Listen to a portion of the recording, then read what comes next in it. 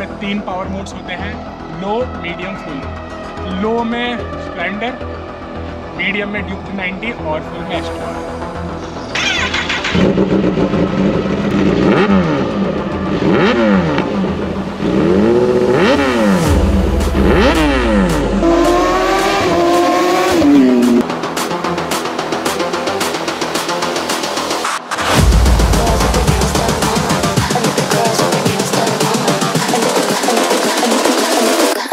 girls with their nails done now.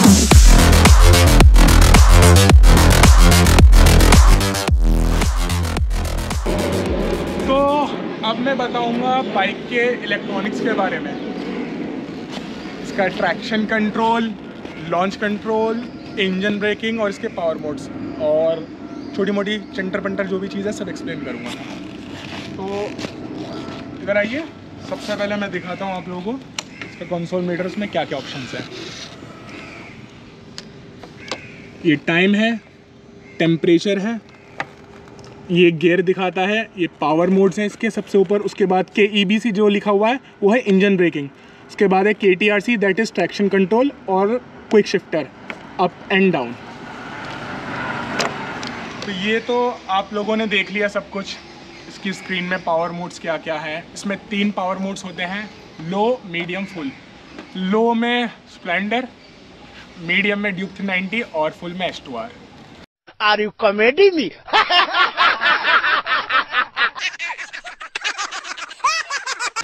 मज़ाक कर रहा हूँ।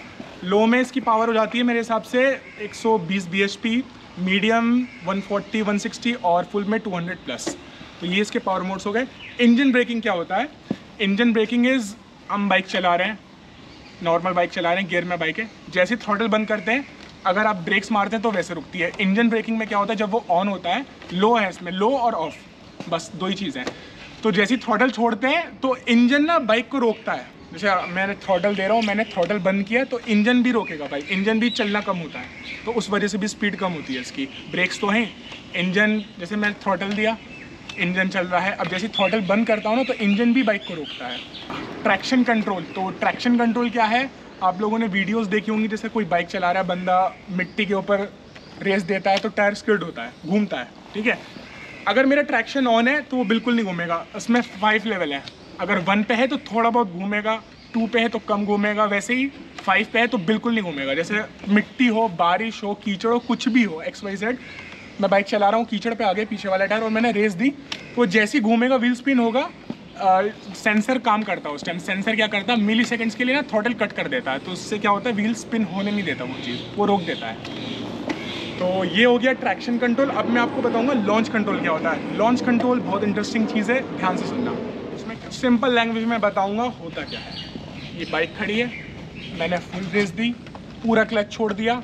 बाइक ना उठेगी, ना पलटेगी, वो सीधी रहेगी और एकदम जाती रहेगी। जैसा कि आप लोगों ने मोटो जीपी में देखा होगा, वो लोग रेसर्स जब मोटो जीपी में ट्रैक पे खड़े होते हैं, जब वो स्टार्ट होने वाली होती है रेस सबके फुल थ्रॉटल होते हैं, वो क्लच छोड़ते हैं, इतनी ज़्यादा पावर होती है उनमें, तीन सौ, साढ़े तीन सौ बी वो तब भी उनका टायर उठता नहीं है।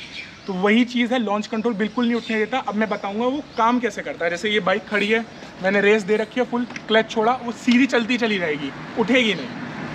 और ये काम कैसा करता है, इसको ऑन करके दिखाऊँगा काम कैसे होगा, फिर आप लोग, ये तो थ्योरी होगी, मैं आपको प्रैक्टिकल करके दिखाऊँगा। तो सबसे पहले करना क्या होता है, ये मैंने बाइक ऑन करी, ठीक है? जिनको नहीं पता, यहाँ से इसको सेलेक्ट है, इसको होल्ड करके रखा तो ऐसे स्क्रीन ब्लिंक होने लगेगी। उसके बाद ये जो एरोज हैं, इनको मैं ऊपर नीचे सेलेक्ट करूँगा, ये, आप, ये इंजन ब्रेकिंग हो गया, ये क्विक शिफ्टर हो गया, ये अभी ऑन है, ठीक है?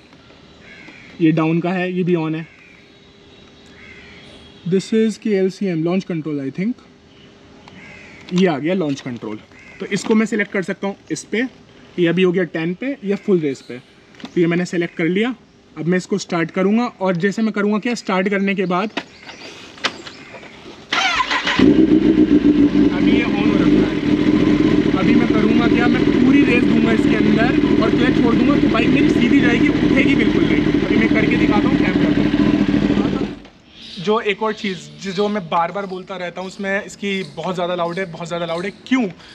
क्योंकि इसमें लगा है ये S C project full system ये पूरा टाइटेनियम का है ओरिजिनल टाइटेनियम जैसे कि आप लोग देख रहे होंगे, जो इसका लिंक पाइप है ये है रेनबो कलर का।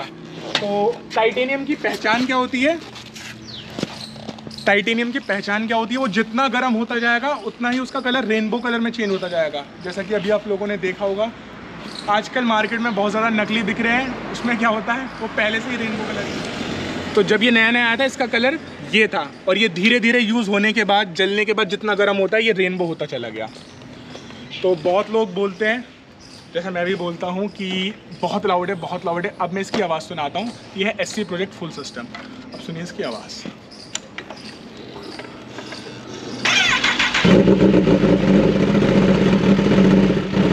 ये तो हो गई नॉर्मल स्टार्ट कैसे होती है अब थोड़ा रहता